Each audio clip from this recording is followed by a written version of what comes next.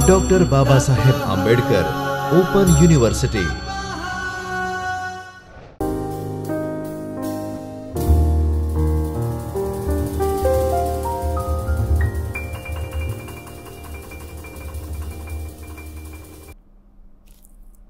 નમસ્કાર વિદ્યાર્થી મિત્રો આજે આપણે એસસીસીડી ઝીરો થ્રી જ્ઞાનતંતુની વિકાસાત્મક વિકલાંગતાનો પરિચય યુનિટ ટુ બૌદ્ધિક અક્ષમતા વિશે શીખીશું.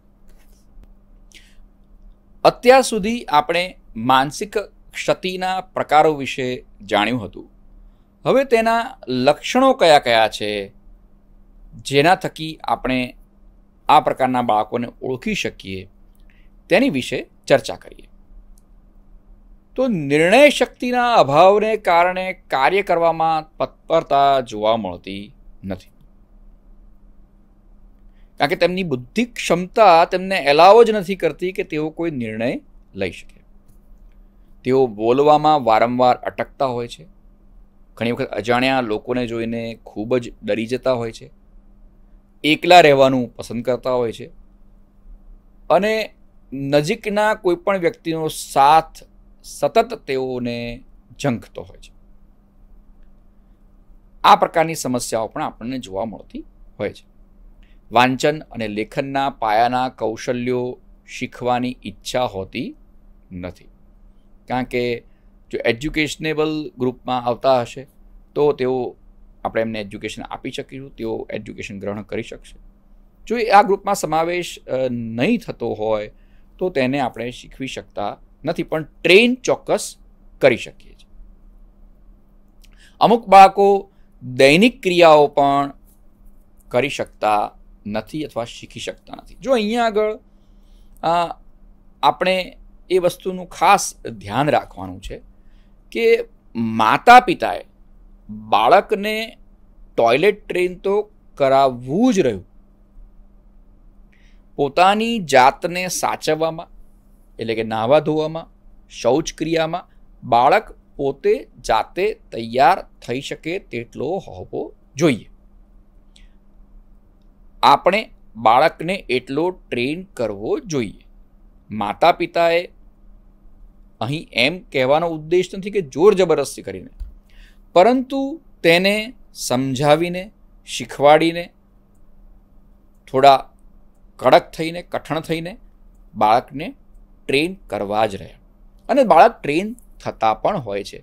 પરંતુ ઘણી વખત માતા પિતા પોતે જ આ બાબતમાં થોડા નરમ પડી જતા હોય છે અને બાળકને શીખવી શકતા નથી. મોંમાંથી સતત લાળ પડ્યા કરતી હોય, દોડાદોડી કર્યા કરતા હોય, તેઓ વસ્તુઓને ફેંકી દેતા હોય, તોડી નાખતા હોય બીજા કોઈને મારી દેતા હોય અથવા પોતાની જાતને પણ ઘણી વખત નુકસાન પહોંચાડી દેતા હોય આપણે આગળ વાત કરી હતી એમ, પોતાની જાતને બટકા ભરી જતા હોય. તમે કોઈ વસ્તુને એને ગમતી ન આપો તો પોતાની જાતને કે સામેની વ્યક્તિને નુકસાન પહોંચાડતા હોય, બોલવામાં કે પ્રવૃત્તિમાં પુનરાવર્તન થયા કરતું હોય, તો આ બધા લક્ષણો આપણે જ્યારે આપણને જોવા મળે, ત્યારે આપણે કહી શકીએ કે આ માનસિક ક્ષતિના લક્ષણો છે. પોતાના વ્યવહારની બીજા પર થતી અસર વિશે તેઓ સમજી શકતા ન હોય. કે એમનામાં એ સમજણ જ નથી. કોઈ એક પ્રવૃત્તિ લાંબો સમય ધ્યાન રાખીને કરી શકતા ન ન હોય. એટલે કે કોઈ એક ચીજ વસ્તુમાં એમનું અટેન્શન પૂરેપૂરું હોતું નથી. ઘણી વખત આવા બાળકોને ખેંચ આવવાની આપણને ફરિયાદ માતા પિતા કરતા હોય છે કે એમને ખેંચ ખૂબ આવે છે. ભાષાની સ્વીકાર્ય કે ગ્રાહ્ય કરવાની ક્ષમતા અન્ય બાળકો કરતાં ઓછી હોય છે, તેમની સમાન વયના જ વર્તુળકની સમસ્યાઓ પણ જોવા મળતી હોય છે. બાળક આળસુ અને બિન ઉદ્યમી હોય તેવું આપણને લાગતું હોય છે. કોઈ પણ વ્યવહાર કે સવાલનો પ્રત્યુત્તર આપી શકતા નથી. તમે કંઈ પણ પૂછો તો એ તમારી સામે જ જોયા કરશે અથવા સામે જોશે જ નહીં. બીજી જ કોઈ દિશામાં જોયા કરશે. અને તમારી સામે જોતા હોય તો જવાબ પણ આપી શકતા નથી. પોતાની ઉંમર કરતાં નાની ઉંમરના બાળકો સાથે તેમને રમવાનું ગમતું હોય છે, બોલવાનું ગમતું હોય છે, બેસી રહેવાનું ગમતું હોય છે. નિશાળે જતું બાળક અભ્યાસમાં ધ્યાન ન આપે, ભૂલી જાય. વારંવાર નપાસ થાય, તમે પુનરાવર્તન કરવાનો પ્રયત્ન કરો, ન કરે. બેસી રહે, એટલું જ નહીં, બીજાને પણ હેરાન કરે. આ બધા લક્ષણો પણ બાળકમાં સમસ્યા દર્શાવે છે. હાથ અથવા પગ વારંવાર બેચીનીપૂર્વક હલાવ્યા કરતા હોય, એમનામાં સતત આપણને કોઈ પ્રવૃત્તિ જોવા મળતી હોય, સતત એમના હાથમાં, પગમાં. કાર્ય અને પ્રવૃત્તિનું વ્યવસ્થિત સંયોજન કરવામાં મુશ્કેલી અનુભવતા હોય, માનસિક શ્રમ પડે એવા કાર્યો કરવાનું તેઓ ટાળતા હોય. તમે એમને કોઈ કામ કરવાનું કહો, જ્યાં વસ્તુ જઈને લઈ આવો, ચાર જગ્યાએ ફરી આવો, એ બધું કરશે. પણ જ્યાં તમે એને જ્યાં કોઈ પણ માનસિક શ્રમ પડતો હોય, એવી કોઈ વસ્તુ સોંપશો, તો એ કરવાની ના પાડશે અથવા કરશે જ નહીં. અતિ બોલવું વર્ગકામનું બોલવું, સમય, સંજોગ જોયા વિના બોલવું, બોલવામાં રિપીટેશન કરવું વચ્ચે બોલવું જેવી સમસ્યાઓ પણ જોવા મળતી હોય છે. જોઈ જોઈને બોલવું, યાદ ન રાખવું પોતાની રીતે અર્થઘટન કરવું જેવી સમસ્યાઓ પણ જોવા મળતી હોય છે.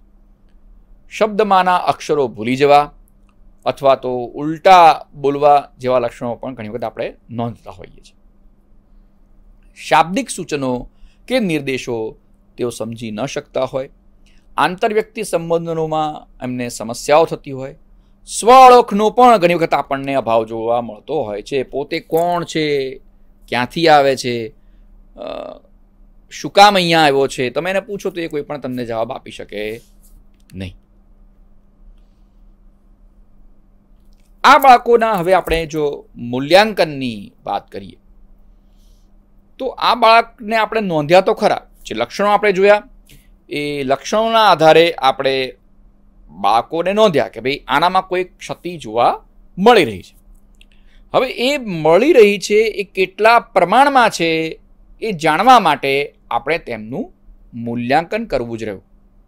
તો માનસિક ક્ષતિ ધરાવતા બાળકોના ડેવલપમેન્ટલ કોશન કે ઇન્ટેલિજન્ટ કોશન એટલે કે ડીક્યુ કે આઈક્યુ કાઢવો જરૂરી બનતો હોય છે. અત્યારે વખત આપણે એસક્યુ એટલે કે સોશિયલ ક્વોન્ટમ પણ કાઢતા હોઈએ છીએ.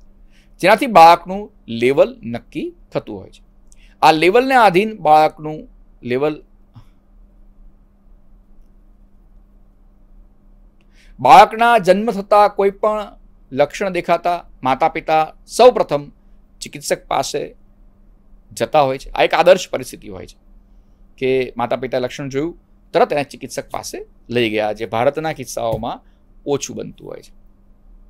પરંતુ હવે ઘણા બધા વાલીઓ જાગૃત થયા છે અને તરત જ પોતાના બાળકને ચિકિત્સક પાસે લઈ જતા હોય છે. જે લોકો મેડિકલી બાળકનું મૂલ્યાંકન કરે છે અને બાળક કયા પ્રકારનું છે તે જણાવે છે. જે અગાઉ તબીબ દ્રષ્ટિએ જુદા પ્રકારો આપણે જોયા હતા માઇલ્ડ મોડરેટ સિવિયર પ્રોફાઉન્ડ જે આપણે જોયા હતા, તેની આપણે ચર્ચા કરી રહ્યા છીએ. તબીબ પરીક્ષણ બાદ તબીબ પોતે બાળકને તેની લક્ષી દવા આપે છે અને તાલીમ માટે યોગ્ય જગ્યાનું સૂચન પણ કરતા હોય છે. બાળકની ઓળખ થતાં જ ચાલુ કરાતી તાલીમ અને અર્લી ઇન્ટરવેન્શનનો ભાગ બની રહે જે ખૂબ મહત્વનો રહે છે. જરૂર પડે તબીબ નિષ્ણાત નાની ઉંમરના બાળકો માટે speech therapy occupational therapy physiotherapy play therapy વગેરે થેરેપીઓનું સૂચન કરતા હોય છે. મોટી ઉંમરના બાળકો માટે સ્પેશિયલ સ્કૂલનું પણ સૂચન કરતા હોય છે. અને સારું લેવલ ધરાવતા બાળકને સાયકોલોજિસ્ટની પણ સલાહ. સારું લેવલ ધરાવતા બાળકને સાયકોલોજિસ્ટનું પણ સૂચન કરાવવામાં આવતું હોય છે. જે તેનો આઈક્યુ તપાસી, તેને સામાન્ય શાળા કે સ્પેશિયલ શાળાનું સૂચન કરતા હોય છે. સાયકોલોજી પણ બુદ્ધિ સ્તર માપવા જુદી જુદી પદ્ધતિઓ એટલે કે જુદી જુદી કસોટીઓનો ઉપયોગ કરતા હોય છે. શિક્ષણ અને તાલીમ અર્થે આવતા બાળકોનું એસેસમેન્ટ કરવામાં આવે છે, જેને ડેવલપમેન્ટલ ઇવેલ્યુએશન કહેવામાં આવે છે. જે બાળકની દરેક એરિયામાં પ્રગતિને તપાસે છે. જેના ઉપયોગ ચૌદ વર્ષથી નીચેની ઉંમરના બાળકો માટે પ્રવૃત્તિ મુજબ સારા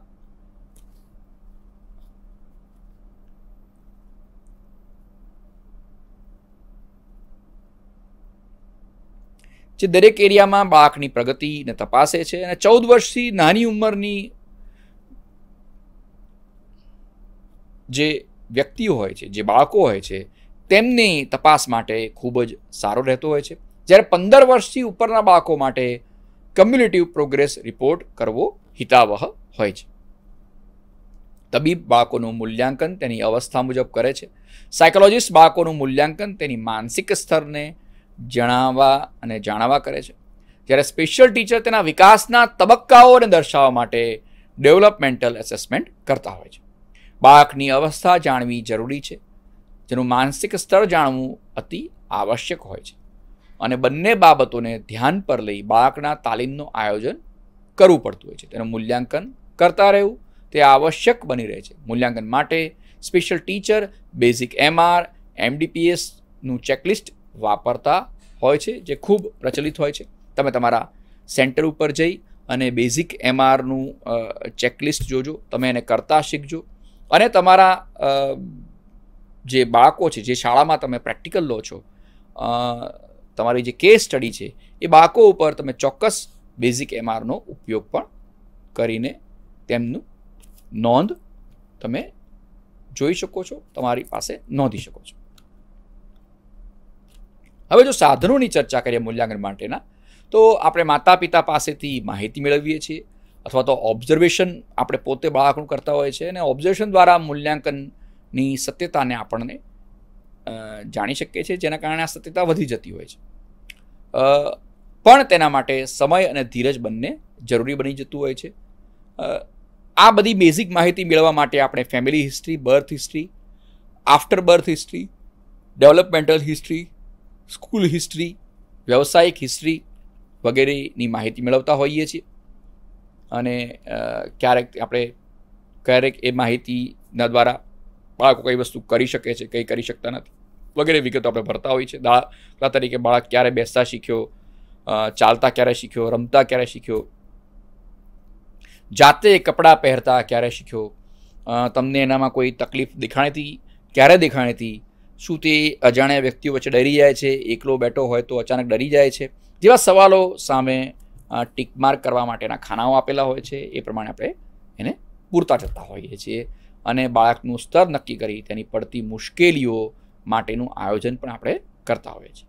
છ વર્ષ સુધીના બાળકો માટે બાળકના વિકાસના તબક્કાઓને સામાન્ય બાળકોના વિકાસના તબક્કાઓ સાથે સરખાવી તેનો ડેવલપમેન્ટલ કોશન નક્કી કરવામાં આવે છે. જેના માટે સાયકોલોજીસ્ટ દાસી કે developmental assessment scale for Indian instruct કે ગેસલ્સ ડેવલપમેન્ટલ સ્કેડ્યુલનો ઉપયોગ કરતા હોય છે. છ વર્ષથી ઉપરની ઉંમરના બાળકો માટે વર્બલ ટેસ્ટ કરવામાં આવે છે અને ઇન્ટેલિજન્સ કોશન નક્કી કરવામાં આવે છે. જેમાં psychologist Stanford Binet Kamat test મેરિન્સ intelligence scale for children Wechsler's intelligence scale for ચિલ્ડ્રનનો ઉપયોગ કરતા હોય છે. આ બધા જે ટેસ્ટ છે એ દરેક ટેસ્ટ તમને તમારા સેન્ટર ઉપર જોવા મળશે. એ સેન્ટર ઉપર તમે જોઈ શકશો. એ સિવાય ઓનલાઈન પણ તમે આ ટેસ્ટ વિશેની માહિતી વધારે વિસ્તારથી જાણી શકશો. છથી અઢાર વર્ષના બાળકો માટે વેસ્ટલસ એડલ્ટ ઇન્ટેલિજન્સ સ્કેલ વાપરવામાં આવે છે. પરફોર્મન્સ ટેસ્ટ લેવામાં આવે છે. ડેવલપમેન્ટલ ટેસ્ટ, વર્બલ ટેસ્ટ ઉપરાંત પરફોર્મન્સ ટેસ્ટ પણ વાપરવો જોઈએ. જેથી પઝલ ગેમ બ્લોક્સ ગોઠવવા ડ્રોઈંગ કરાવવું, એના દ્વારા મેળવવામાં આવે છે. જેમાં સેંગ્વિન ફિલ્મ બોર્ડ છે ડ્રોમેન ટેસ્ટ છે કોલર બ્લોક ડિઝાઇન ટેસ્ટ છે ડેવલપમેન્ટલ સ્ક્રીનિંગ ટેસ્ટ વગેરેનો ઉપયોગ કરવામાં આવતો હોય છે. એજ્યુકેશનલ એસેસમેન્ટ માટે the Madras developmental processing system એમડીપીએસનું checklist ઉપયોગ કરવામાં આવતો હોય છે. એમડીપીએસ ખૂબ જ પ્રચલિત ટેસ્ટ છે. જેમાં અઢાર જેટલા ક્રિયાત્મક પ્રવૃત્તિઓમાં બાળકની એબિલિટી જોવામાં આવે છે, તપાસવામાં આવે છે, જેમાં motor skill self health skill domestic behaviour વગેરે જેવી બાબતોનો સમાવેશ કરવામાં આવ્યો છે. અન્ય જે ખૂબ પ્રચલિત ટેસ્ટ છે, એવો જ એક ટેસ્ટ છે બેઝિક એમઆર જેને આપણે behavioural assessment scale for the Indian children mental રિટાર્ડેશનનો ઉપયોગ પણ બાળકનું ચાલુ સ્તર જાણવા માટે કરવામાં આવે છે. જે બે ભાગમાં વહેંચાયેલું છે. એક છે મોટર સ્કેલ અને બીજું છે એક્ટિવિટી ઓફ ડેલી લિવિંગ જેમાં ભાષા, લેખન વાંચલ અંક, સામાન્ય જ્ઞાન, સામાજિક પ્રી વોકેશનલ પછી પૈસાની ગણતરી જે બાબતોનો સમાવેશ કરવામાં આવ્યો છે. જેમાં બાળકને સ્કોર આપવાનો હોય છે. ઝીરોથી પાંચ નંબર સુધીનો સ્કોર હોય છે. જે નક્કી કરે છે કે બાળક કઈ પ્રવૃત્તિમાં સ્વતંત્ર છે, કઈ પ્રવૃત્તિમાં એને કોઈનો સહકાર જોઈતો હોય છે અને તે મુજબ બાળકનો વ્યક્તિગત પ્લાન, જેને આપણે આઈપી તરીકે ઓળખીએ છીએ, તેની રચના કરવામાં આપણને સરળતા રહેતી હોય છે. મૂલ્યાંકનનું ક્ષેત્ર જ્યારે આપણે ચર્ચા કરીએ છીએ, ત્યારે પ્રભાજ પ્રખ્યાત બુદ્ધિમાપક આલ્ફ્રેડ બિને એનું વર્ગીકરણ કર્યું છે, જે આપણને અહીં જોવા મળે છે, જે ડૉક્ટર હર્ષિતા પંડિતની પુસ્તકમાંથી આપણે અહીંયા આગળ મૂક્યું છે.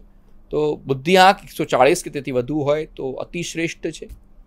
જેની વસ્તીનો આંક આપણને જોવા મળી રહ્યો છે. એકસો વીસથી ઓગણચાલીસ શ્રેષ્ઠમાં આવે છે, જે અગિયાર પોઈન્ટ ત્રણ હોય છે.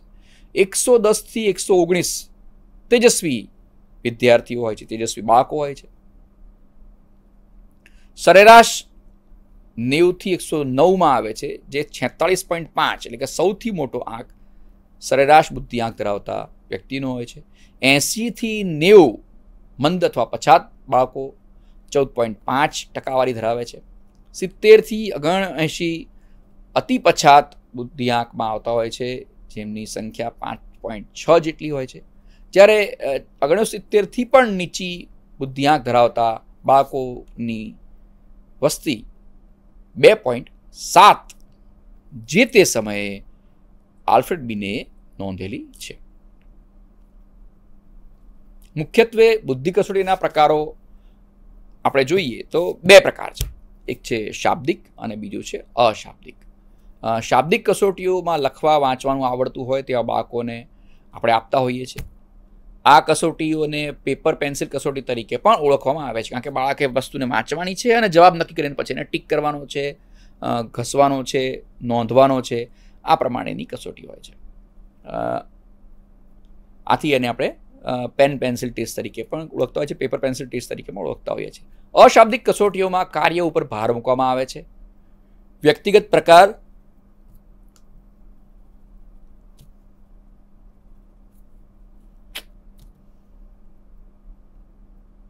વ્યક્તિગત પ્રકારની એટલે કે એક મનોવૈજ્ઞાનિક એક જ બાળકને એક વખતે આપી શકે તેવી આ કસોટી હોય છે.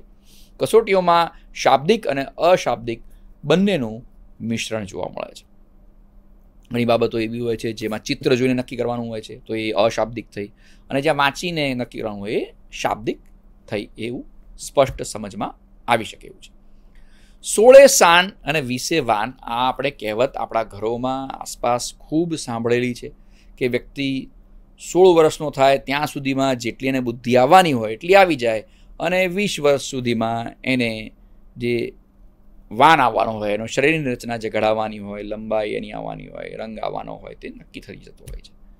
પણ માનસશાસ્ત્રની રીતે આ વસ્તુને માન્યતા એટલી મળતી નથી. કદાચ આઈક્યુમાં વધારો થતો નથી એવું એ લોકો માનતા હોય છે, તે સમજી શકાય છે, પરંતુ બુદ્ધિ સ્થગિત થતી નથી.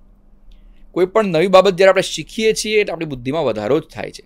સોળ વર્ષે બુદ્ધિ પરિપક્વ બને છે અને નવા અનુભવોમાંથી વ્યક્તિના સમજનું, શિક્ષણનું જગત જે છે એ વિસ્તરતું જાય છે. આપણે જ્યારે પણ કોઈ નવી બાબત શીખીએ છીએ, ત્યારે આપણી બુદ્ધિમાં વધારો થાય છે. ઘણી બધી બાબતો એવી હોય છે જેમાં આપણા માટે મુશ્કેલી હોય છે, જેમાં આપણે આપણી બુદ્ધિનો ઉપયોગ કરીને નવી વસ્તુઓ જાણીને પણ બુદ્ધિનો ઉપયોગને લાગુ કરીએ છીએ અને એમાંથી આપણે બહાર નીકળીએ છીએ તો એનો ઉપયોગ કરતા શીખીએ છીએ. નેવથી ઓછો બુદ્ધિઆંક ધરાવતા બાળકો શાળા શિક્ષણમાં પછાત રહી જતા હોય છે. પણ એમના માટે શાળાઓમાં વ્યવસ્થા ઊભી થઈ શકે છે. આજે માનસિક કસોટી દ્વારા તેમનું યોગ્ય નિદાન કરી શકાય છે. અને વર્ગીકરણ દ્વારા તેમને શિક્ષણ, તાલીમ અને વ્યવસાયિક તાલીમ આપવામાં આવે છે. આવા બાળકોને તેમની યાદશક્તિ અથવા સમજશક્તિમાં ખામી હોવાને લીધે શૈક્ષણિક વિકાસ અટકી જતો હોય તેવું આપણને લાગતું હોય છે. તાલીમબદ્ધ વિશિષ્ટ શિક્ષકો વ્યક્તિગત ધ્યાન આપીને આવા બાળકોને કેળવવાનો પ્રયાસ કરતા હોય છે. પરંતુ માત્ર આ શિક્ષકોની જવાબદારી નથી, એમાં વાલીઓએ પણ એટલો જ સહકાર આપવો પડતો હોય છે. જેટલો વાલીનો સહકાર વધુ, એટલો બાળકનો વિકાસ વધારે.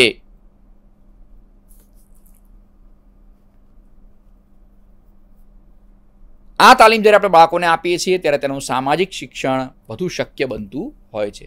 જન્મથી માનસિક ક્ષતિ ધરાવતા બાળકોની ક્ષતિ સુધારી શકાતી નથી. પણ તેમને તાલીમ આપીને ઉપયોગી નાગરિક આપણે ચોક્કસ બનાવી શકીએ છીએ. આ યુનિટના પ્રશ્નોની જો આપણે ચર્ચા કરીએ, તો માનસિક ક્ષતિના સામાન્ય લક્ષણો જણાવો. બીજો પ્રશ્ન છે, માનસિક ક્ષતિના મૂલ્યાંકનના પ્રકારો વિશે ચર્ચા કરો. લક્ષણો જે આપણે સૌથી પહેલાં જોયા કે માનસિક ક્ષતિ હોય તો એ બાળકમાં કયા કયા લક્ષણો હોય છે, એ લક્ષણોની આપણે ચર્ચા કરવાની છે, એ જણાવવાના છે. એ જ રીતે માનસિક ક્ષતિના મૂલ્યાંકનના પ્રકારો કયા કયા છે, એ વિશે આપણે ચર્ચા કરવાની છે. ત્યાર પછીનો પ્રશ્ન આવે છે, મૂલ્યાંકનના સાધનો વિશે વિગતે ચર્ચા કરો. હમણાં જ આપણે અગાઉ જોયું કે કયા કયા સાધનો હતા. તમે જો તમને જો યાદ હોય, તમારી પાસે પુસ્તક હોય, તો તમે એનો જવાબ નોંધી શકો છો. જો ન હોય, તો તમે ફરી પાછા આ વિડીયોને પુનઃ એકવાર જોઈને અથવા આપના કેન્દ્રની સાથે સંપર્ક કરીને, તમારા તજજ્ઞશ્રીની સાથે સંપર્ક કરીને એના પ્રશ્નો જવાબ મેળવી શકો છો. એ જ રીતે મૂલ્યાંકનનું કાર્યક્ષેત્ર કેટલું છે તેની વિશે પણ આપણે વિગતે ચર્ચા કરી શકીએ છીએ. મૂલ્યાંકનનું કાર્ય કેટલું વિસ્તરેલું છે તેની વિશે પણ આપણે ચર્ચા કરી શકીએ છીએ. અને તેના અંતિમ તબક્કામાં આપ કયા કયા સંદર્ભોનો ઉપયોગ કરીને વધારે આ પ્રશ્નો વિશે જાણી શકો છો? તે આપને અહીં દર્શાવ્યું છે. તો સંદર્ભ તમે અહીંયા જોઈ શકો છો. આ સંદર્ભોની મદદથી તમે જે પ્રશ્નો છે તેના વધારે વિગતે વધારે ઊંડાણપૂર્વક જવાબો પ્રાપ્ત કરી શકો છો. વિદ્યાર્થી મિત્રો, અહીં આપને હું એક બાબત જણાવવા માંગુ છું કે અમે જે આપને સંદર્ભ આપીએ છીએ, તેની કરતાં ઘણું બધું વધારે વિશાળ વાંચન તમારી પાસે અત્યારે ઉપલબ્ધ હોય છે. તમે ઓનલાઈન માહિતી મેળવીને પણ તમારા સંદર્ભમાં વધારો કરી શકો છો. અમે આપને જે શિક્ષણ આપી રહ્યા છે, તે પુસ્તક પૂરતું સીમિત હોય છે, જેથી વધારે વિદ્યાર્થીઓ સુધી પહોંચી શકાય. તમે તમારી જાતે, કારણ કે તમે ડિસ્ટન્સ એજ્યુકેશનના વિદ્યાર્થી છો, માટે તમે તમારી જાતે પણ શિક્ષણ પ્રાપ્ત કરી અને એમાં થોડો વધારે ઉમેરો કરીને તમારા જવાબ તૈયાર કરાવી શકો છો. ઊંડાપૂર્વક અભ્યાસ કરીને વધારે સારા જવાબ તૈયાર કરી શકો છો. અને એ તૈયાર કરેલા જવાબો તમે તમારા શિક્ષકને, તમારા તજજ્ઞને, તમારા કેન્દ્રને બતાવી શકો છો તપાસાવી શકો છો અને તેની પર ફીડબેક મેળવી શકો છો. આજના આ અંકમાં આટલું જ. ધન્યવાદ. સ્વાધ્યાય